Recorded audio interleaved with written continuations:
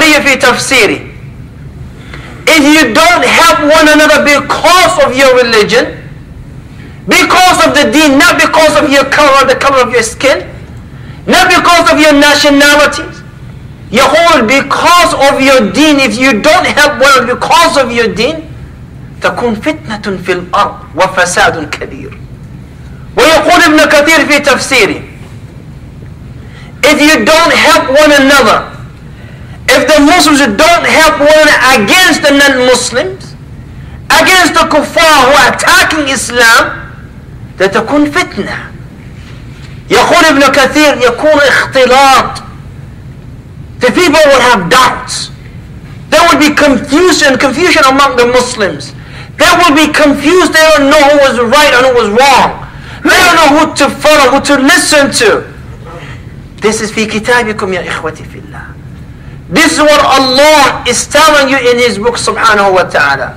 فاتقوا الله في عباد الله. واتقوا الله في أنفسكم. And let your slogan, let this be إن أكرمكم عند الله أتقاكم وقولوا ما تسمعون استغفر الله لك فاستغفروه إنه الغفور الرحيم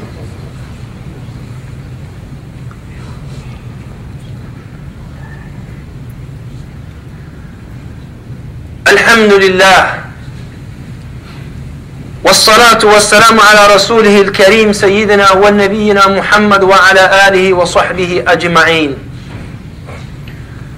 نشهد أنه بلغ الرسالة وأدى الأمانة ونصح الأمة وكشف الغمة وجاهد في الله حق جهاد حتى أتاه اليقين. أما بعد إخوتي في الله يقول رسول الله صلى الله عليه وسلم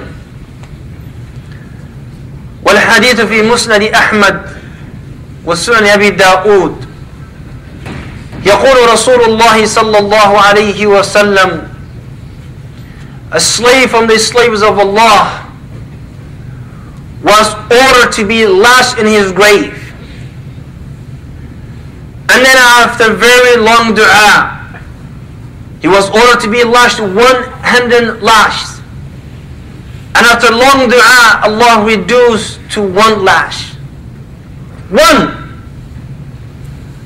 And then he was slashed in his grave once.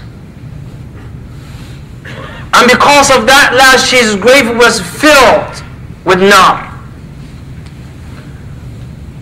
فلما رفع عنه فاق قال على ما جلدتموني After the punishment was over, he said, why did you lash me? What did I do? والحديث صححه ابن حبان في صحيحه والألباني في صححه أيضا قال the man asked why did you lash me and then it was said to him صليت الصلاة بغير طهور you pray one salah without wudu ورأيت ذا مظلوما فلم تنصره and you passed by someone who's been oppressed and you did not help him. One mazloom, one person was oppressed and he did not help. Imagine where millions of people, thousands of people are oppressed and we don't care.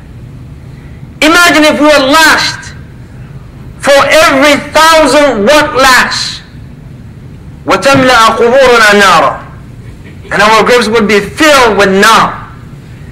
How powerful this punishment, ya ikhwati fillah. And Rasulullah did not say, oh, you did not help your Arab brother, or Ajam brother, or Turkish brother, or no, he said, مظلوم فلم تنصر. One person, a Muslim, and you did not help. ويقول النبي صلى الله عليه وسلم في حديث صحيح يقول if if you ever and remember this hadith يا إخوتي في الله because this is what is happening in the ummah and that's why we don't get the help of Allah at the time of our need يقول If a Muslim passed by a Muslim or in a place ينتهك فيه ينتهك فيه عرضه أو ينتهك فيه حرمته وينتقص من عرضه is if you pass a place where a Muslim's honor being dishonored and you do not do anything about except that Allah subhanahu wa ta'ala will disgrace you and leave you to yourself at the time of your need. And the day that you have the honor of a Muslim and you protect the honor of a Muslim, Allah will help and aid you the day that you need His help subhanahu wa ta'ala. If you don't do it, Allah will not help you. And if you help, Allah will help you. And يا إخوتي في الله يقول صلى الله عليه وسلم والحديث أيضا حسنه صححه الألباني The best أعمال that Allah loves is to bring happiness to the heart of a Muslim, to ease the difficulty of a Muslim, to help a Muslim in need.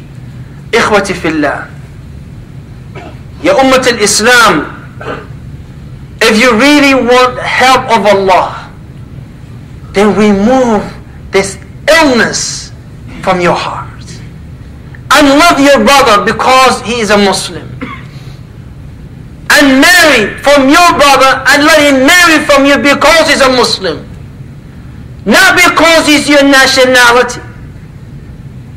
We became so narrow-minded that we think that everyone else is imperfect and it is only me and my people who attain the level of perfection لا والله يا إخوتي في الله أتدرون يا عباد الله how many young people come how many young people come because at this time where the halal is minimum in the society and the haram is accessible to everyone. They want to protect themselves. And they want to marry this young lady on the other side for the sake of Allah. And they were rejected because he's not from her nationality. Do you know how many people come to my office almost every day with that issue? And what is it the crime of this young man? Does he drink? La wallahi. Did he abandon the salah? لا والله فعلامة السجود سيماه في وجوههم. Did he do any other crime? لا. The only crime is he is not from the same nationality. Same nationality. Subhanallah. When Abu Dharr al-Ghafari رضي الله عنه he said to Bilal kalima, a word that hurt him. That hurt him. You know what he said to Rasul? Wallahi la rafa'annaka ila Rasulillah. Wallahi, I will take this matter to the messenger of Allah. A Rasulullah said to Abu Dharr, أعيرته بأمي إنك امرؤ فيك جاهلية دعوها دعوها فإنها منتن He said, leave this, indeed is a filth. Leave this nationalities. Leave this, leave this unnecessary titles. إن أكرمكم عند الله أتقاكم. إخوتي في الله. Unless we unite our hearts, the enemies of Allah will always find ways to get to us.